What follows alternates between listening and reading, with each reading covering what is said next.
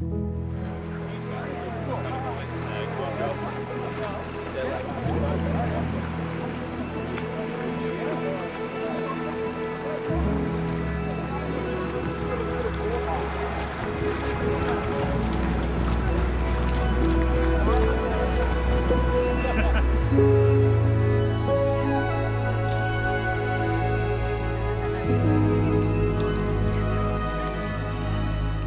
I think we're learning more and more that universities uh, are a place of knowledge, but particularly a place to learn the application of knowledge. And that's where Murdoch strives.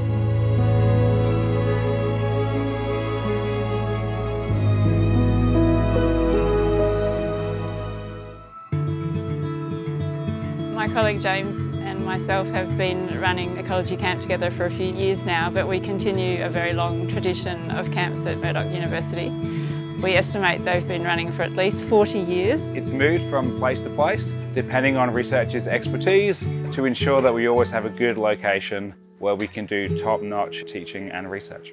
And it's an annual event, so we bring cohorts of up to 80 students who are studying ecology, which is a core unit for three of the majors that we offer at Murdoch. So what we're doing here is going out to different places, seeing the species that live there and try and work out why they are there. To me, ecology is why is a species in a particular place in a particular time and how does it interact with the other species that occur simultaneously. So Rachel and myself are active researchers. We always try and have relevant projects. We need a camp that can cater to both terrestrial and marine studies and the immersive experience that we can offer at Albany allows us to do that. Albany is just a magical spot. We're in a biodiversity hotspot for plants. We have a stunning embayment and in front of us so that I can do my marine research in there and it just provides that contrast and linking together of the terrestrial and the marine ecosystem. I think the camp provides students with the chance to uh, think about what it's like to be an ecologist and whether that's something they want to pursue in the future. We have a group of students that have come from multiple disciplines from environmental, uh, marine, and they all come down here and do uh, two different projects, uh, whether it's with the fish, invertebrates, plants, banksia, or in fire.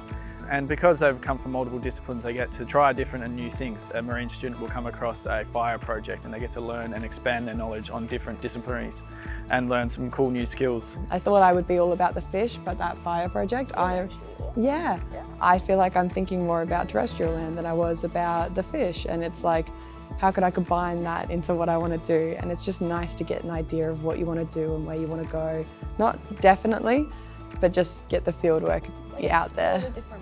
Yeah, it's been really cool. Some of the activities we do that are not necessarily related to the projects, but around the camp, that mentorship, that talking to um, up and coming researchers inspires them to go forward. And um, lots of the demonstrators on the camp are students who have done an iteration of the camp before. And it's great that people are willing to uh, come back to the camp, pass on their knowledge. I think it's just, it's really lovely.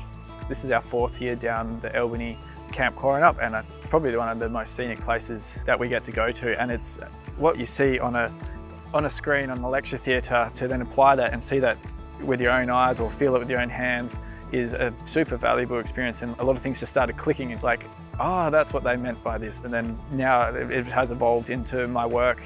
I think fundamentally students find it more motivating, more purposeful when you tell them that you're going to share their data with the industry partner.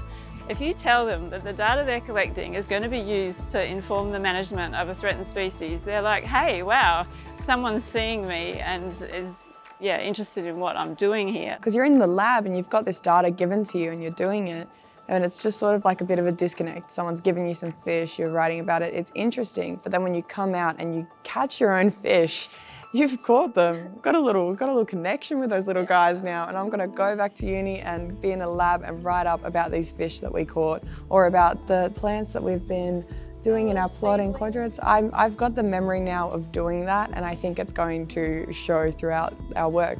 And it's so nice to get that field work and feel what it would be like in the future, doing projects and things.